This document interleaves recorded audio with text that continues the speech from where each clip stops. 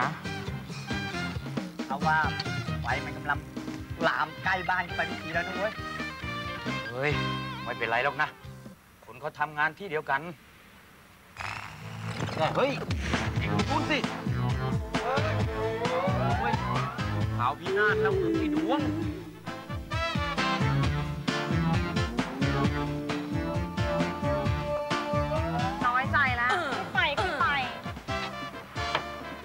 ว้วันหลังนะจ๊ะ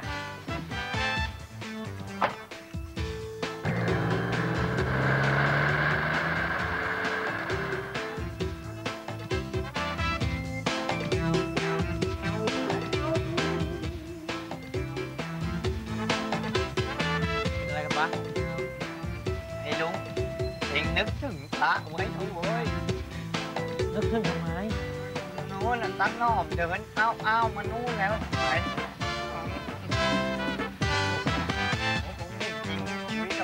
กับน้องก็สิลินนะเว้ยเมื่อกี้เอ็งคุยกับว่าใครฮะอ๋อพ่อ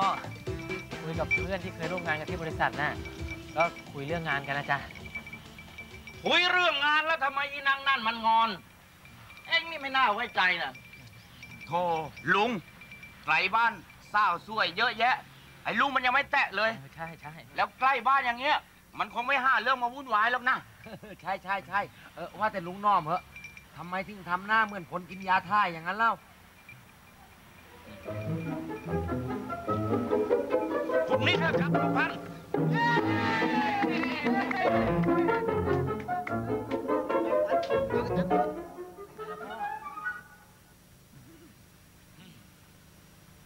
ก็ข้าเผลอไปพูดเรื่องคุณนายดวงใจกับอีนางหนูมันน่ะดิมันก็เลยโวยวายข้าใหญ่เลย แล้วต่อไปนี่นะมันมันห้ามข้าไปงานกับเองแล้วฮะมันกลัวว่าข้าจะหาแม่ใหม่ให้มัน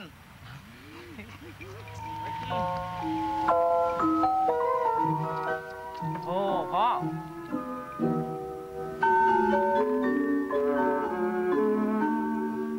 ก็พ่อไม่น่าไปเล่าให้ในไลน์มันฟังนี่นะ ก็รู้ว่าเขาเป็นคนชอบคิดมาก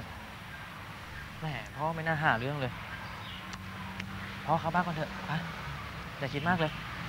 ไปไปไปเองเองเข้าไปก่อนเถอะ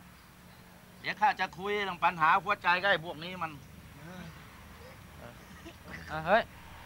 เดี๋ยวเป็นที่ปรึกษาให้พ่อหน่อยนะ ข้ามไปก่อนละบ๊ายบายเองจะไปไหน คุยก็ข้าก่อน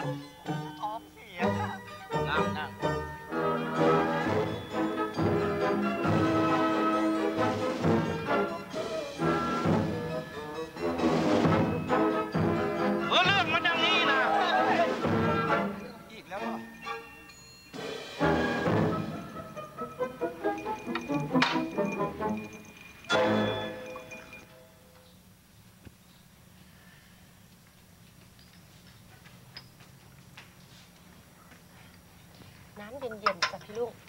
ใช่ใช่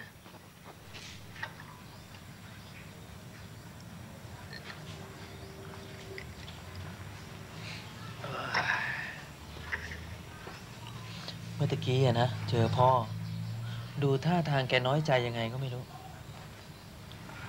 อ๋อ พ่อไปฟ้องอะสิ แล้วทำไมวันนี้กลับเร็วอะมันรู้สึกเพลียๆยังไงก็ไม่รู้จ้ะ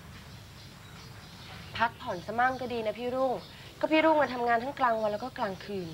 เดี๋ยวโทรมตายเลยนะ โอ้ยโซมสิดี จะได้ไม่ต้องมีผู้หญิงมาติดพัน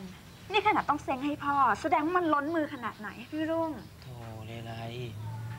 พี่อะสาบานได้เลยนะ พี่ไม่เคยมีอะไรกับใครสักคนหนึ่งอะก็ถ้าพี่มีเมื่อไหร่เนี่ย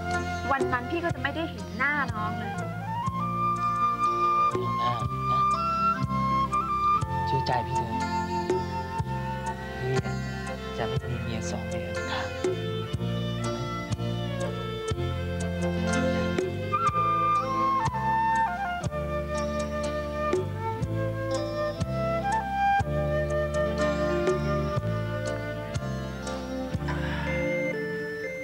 พี่ขอตัวก่อนนะจ๊ะ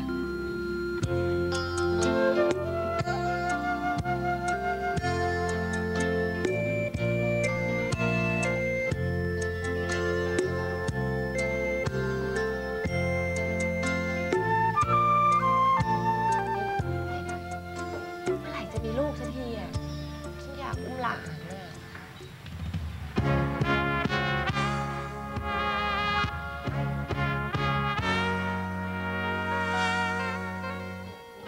ที่รัก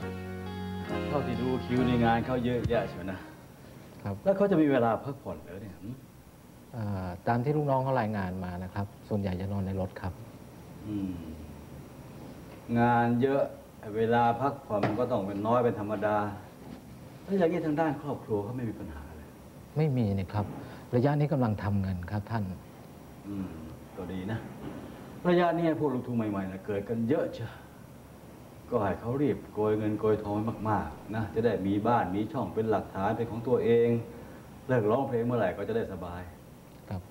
อืมท่านไม่ต้องเป็นห่วงแล้วครับ ผมดูแลเรื่องการเงินให้เขาตลอด อีกอย่างหนึ่งลุงเขาเป็นคนเจียมเนื้อเจียมตัวครับท่าน ก้าวเดินอย่างระมัดระวัง แล้วเรื่องด่างพร้อยส่วนตัวก็ไม่มีครับ ก็ดี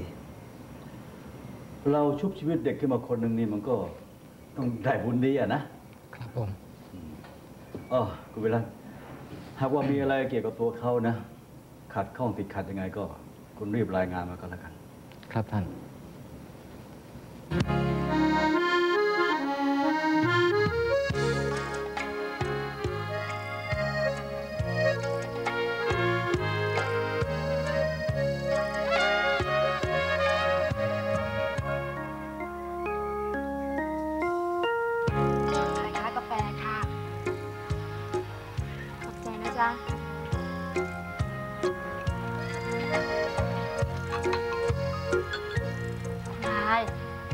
เป็นอะไรไปคะ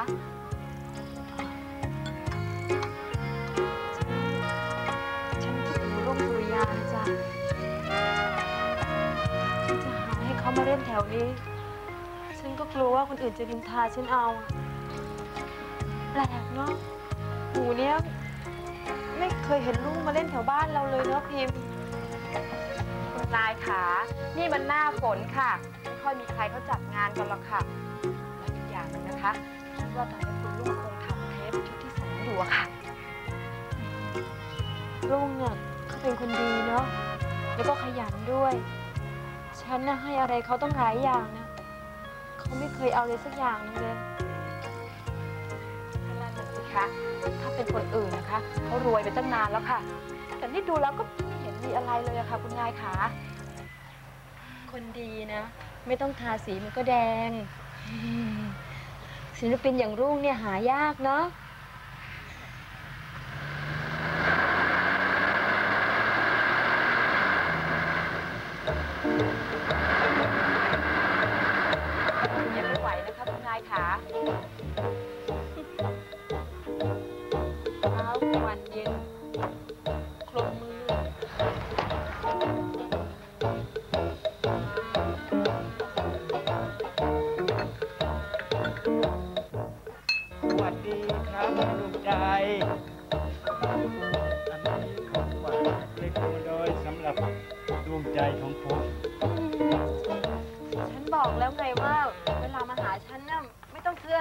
กก็ได้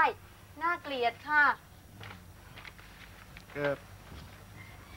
เคยทำอยู่ใจมันก็อยากจะทำอะ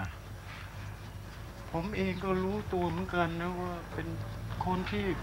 วาสนาน้อย ไม่ได้เป็นนักร้อง หรือพ่อของนักร้อง นี่คุณสุนทัศน์พวกเขาเนี่ยไปเกี่ยวอะไรกับคุณฮะฮะฉั นน่ะเป็นแค่แฟนเพลงเขาอย่างเดียวนะจ๊ะ ฉันไม่เคยคิดที่จะเอาเขามากกมากอด คุณจำไว้ด้วย แม่แล้วพ่อของเขาล่ะ พ่อของเขาน่ะ ก็เป็นผู้ใหญ่ที่ใช้ได้คนหนึ่งเหมือนกัน เอิ่มถ้ารู้อย่างนี้เอ่อผมก็สบายใจแล้วต่อไปนี้นะ ผมจะไม่พูดอะไรให้แม่ดวงใจไม่พอใจอีกแล้วล่ะ